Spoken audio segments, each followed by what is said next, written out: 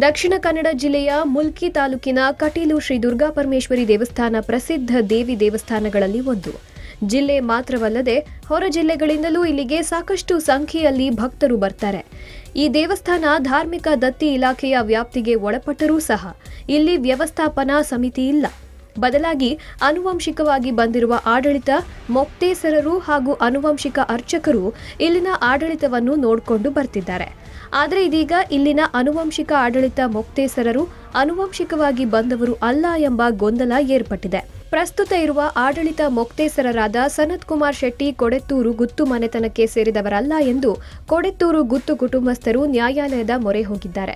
ವಾದ ಪ್ರತಿವಾದಗಳನ್ನು ಆಲಿಸಿದ ನ್ಯಾಯಾಧೀಶರು ಸನತ್ ಕುಮಾರ್ ಶೆಟ್ಟಿಯವರು ಪುತ್ತಿಗೆ ಗುತ್ತಿನವರು ಎಂದು ಘೋಷಿಸಿದೆ.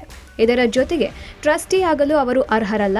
ಇದರ ಅಧಿಕಾರ ಕೊಡೆತ್ತೂರು ಗುತ್ತಿನವರಿಗೆ ಸಂಬಂಧಿಸಿದ್ದು ಎಂದು ಆದೇಶಿಸಿದೆ.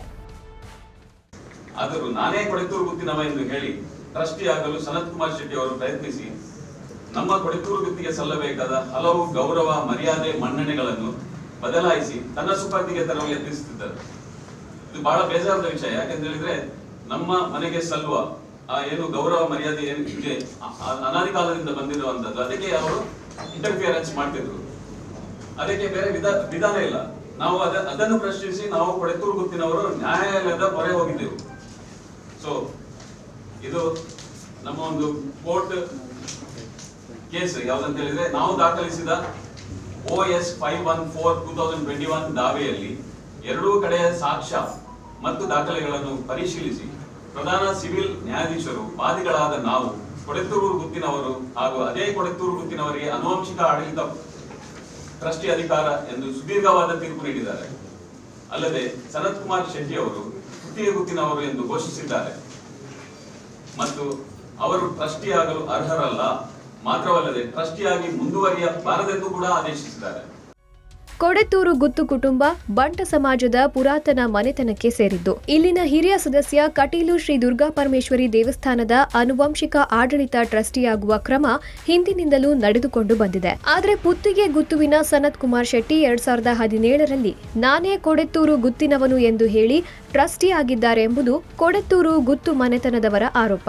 ಹೀಗಾಗಿ ಈ ಕ್ರಮದ ವಿರುದ್ಧ ದೇವಸ್ಥಾನ, ರಾಜ್ಯ ಸರ್ಕಾರ, ಧಾರ್ಮಿಕ ದತ್ತಿ ಇಲಾಖೆಯ ಕಮಿಷನರ್, ಧಾರ್ಮಿಕ ಪರಿಷತ್, ಜಿಲ್ಲಾ ಧಾರ್ಮಿಕ ಪರಿಷತ್ ಸನತ್ ಕುಮಾರ್ ಶೆಟ್ಟಿಯವರನ್ನ ಪ್ರತಿವಾದಿಗಳನ್ನಾಗಿ ಮಾಡಿ ಕೊಡೆತ್ತೂರು ಗುತ್ತು ಕುಟುಂಬ ಸದಸ್ಯರು ನ್ಯಾಯಾಲಯದ ಮೆಟ್ಟಿಲೇರಿದ್ರು. ಇದೀಗ ನ್ಯಾಯಾಲಯ ಶಾಶ್ವತ ತಡೆಯಾಜ್ಞೆ ನೀಡಿದ್ದು, ಪುತ್ತಿಗೆ ಗುತ್ತು ಕುಟುಂಬದವರು ಕಟೀಲು ಶ್ರೀ ದುರ್ಗಾ ಪರಮೇಶ್ವರಿ ದೇವಸ್ಥಾನದ ಆನುವಂಶಿಕ ಟ್ರಸ್ಟಿ ಆಗುವಂತಿಲ್ಲ ಎಂದು ಆದೇಶಿಸಿದೆ. ಹೌದು, ಅದನ್ನು ಬಿಡುವುದು ಬೇಡ. ನಾವು ಹೋರಾಟ ಮಾಡುವಂತೆ ನೈನ್ಟೀನ್ ಫಿಫ್ಟಿ ಒನ್ನಲ್ಲಿ ಒನ್ ನೈಂಟಿ ಏಟ್ ಬಾ ಫಿಫ್ಟಿ ಒನ್ ಅಂತೇಳಿ ಕಾರ್ಕಳ ಕೋರ್ಟ್ನಲ್ಲಿ ದಾವೆ ಹಾಕಿದ್ರು.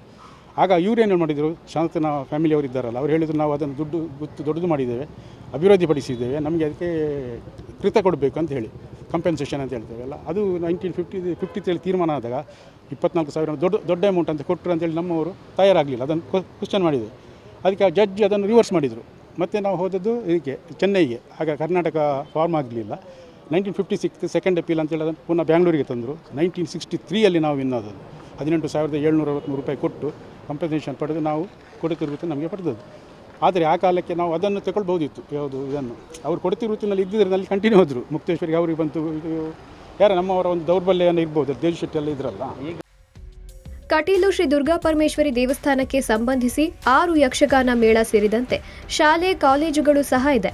ಇದೆಲ್ಲದರ ಉಸ್ತುವಾರಿ ಆಡಳಿತ ಮೊಕ್ತೇಸರರಿಗೆ ಬರುತ್ತೆ.